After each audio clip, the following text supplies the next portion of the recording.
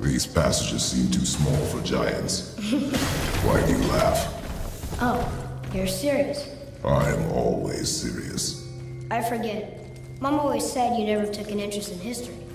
Giants are just a race. Elves and older. It doesn't mean they're big. What of the world serpent? Okay, in that case, giant also means big. But there's only one of them.